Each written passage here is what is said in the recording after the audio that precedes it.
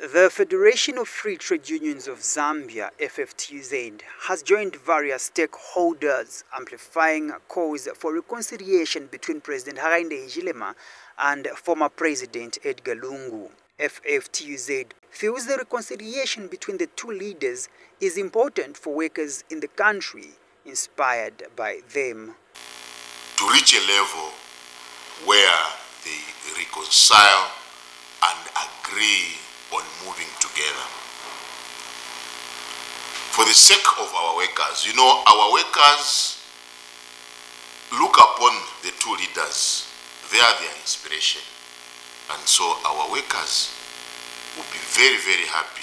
Mr. Mwale has further raised concerns on police presence around workplaces. Where there's too much police presence closer to the workplaces where our workers are, we may see too much agitation, we may see absenteeism, we may see, you know, a lot of uncertainty attributed to people who are not sure what is happening.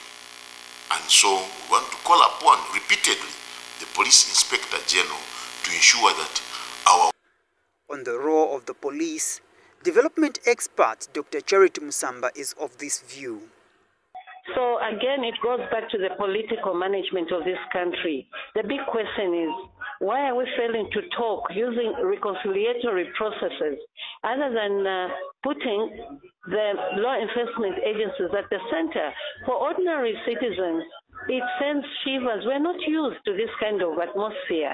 And I'm not implying that. Early this month, State House communication specialist Clayson Hamasaka issued a statement that President Hakainde Hichilema welcomed calls for a proposed dialogue between the two leaders by the Oasis Forum and other church mother bodies, but expressed concern about preconditions set by the former president. Best Jerry, Diamond News, Lusaka.